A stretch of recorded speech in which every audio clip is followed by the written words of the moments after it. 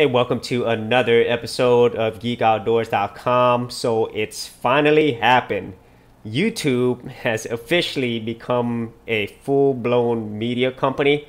And this is something that we knew was coming and that they have really been planning on. And all the technology companies, not just YouTube, Amazon, iTunes, any of these uh, technology companies, they actually want to be their own media company. You know, they want to be a network. They want to be a cable company. You know, uh, and with Google, it even goes further as they also want to be your internet service provider if you have Google Fiber in your area. And so that is their long-term strategy. You know, they want to take on the big cable companies first and then maybe later on even take on some of these big networks as well. And so YouTube TV, um, it will be coming out soon.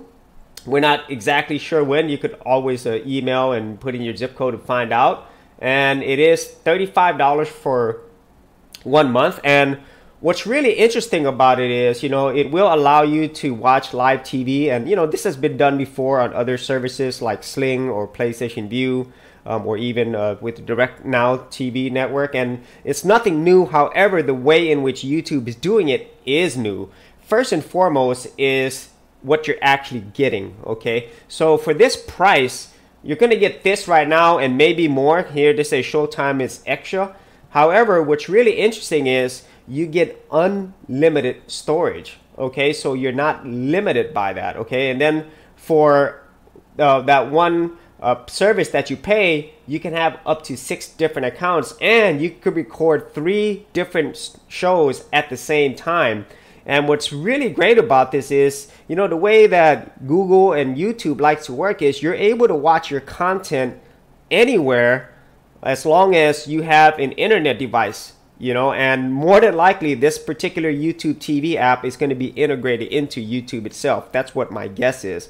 And so that means regardless of which platform that you're on or which type of device, you are going to be able to watch your live TV and your recorded shows anytime, anywhere. And the fact that it is unlimited DVR storage space is simply awesome, you know. And I really love how Google is putting in the whole accessibility and unlimited aspect. That is a really huge key selling point.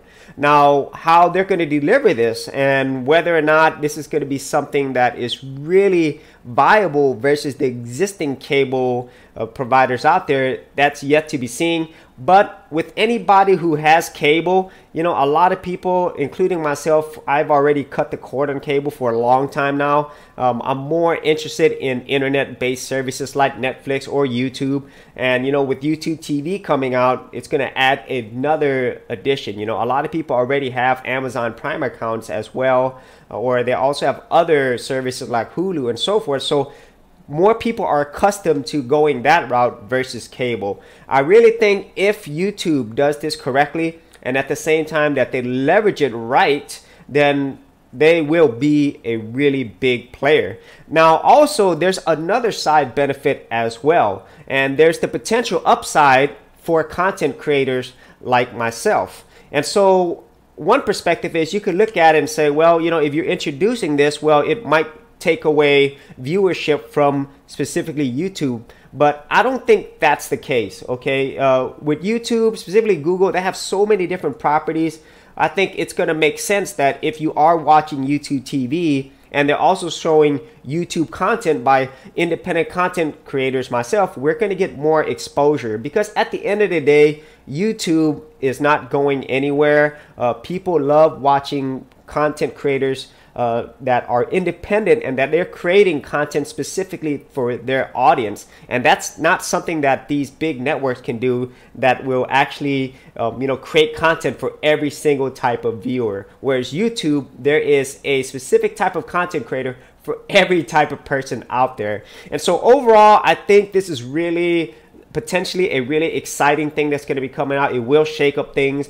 And you know, with Google, they've tried so many things and not everything works. But the difference is Google actually doesn't quit. They keep trying. Okay. So, like uh, with Google Fiber, even though it's not expanding as much as it used to, um, they have already made their mark showing these other bigger companies, these other communications, telecom, cable companies that, hey, you know, there is going to be another alternative. And now with YouTube TV, it becomes really serious for these other cable companies to really look and make sure that they're providing more value than what YouTube and other providers might offer in the future.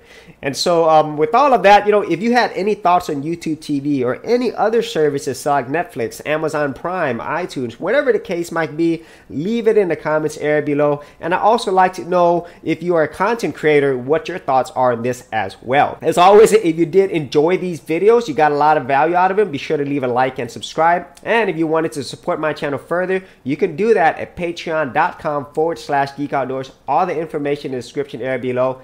Thanks for watching. I'll see you in another episode. Thanks for checking out this episode. And as always, if you like these videos, be sure to click on the subscribe button. And for full written content, audio content, and additional geek stuff, head over to geekoutdoors.com and I'll see you outdoors on the very next episode.